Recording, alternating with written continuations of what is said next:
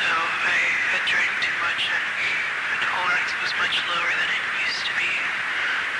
And uh, I got really intoxicated. And, like, every other problem I've had, it started because I got way too drunk. And, um, I told him that I was gonna go upstairs and I was gonna go to sleep. And so I did. I went into his room. It wasn't anything foreign to me. He had never tried anything or done anything.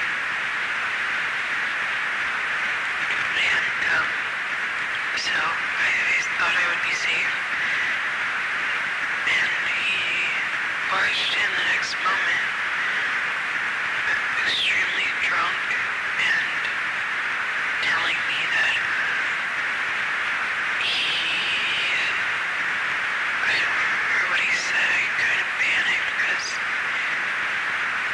he just kept going on about something and he kept trying to kiss me and I told him was tired and I wanted go to sleep. I was facing the other way from him at that point he was mad about that, that I refused to acknowledge him because I had already said I wanted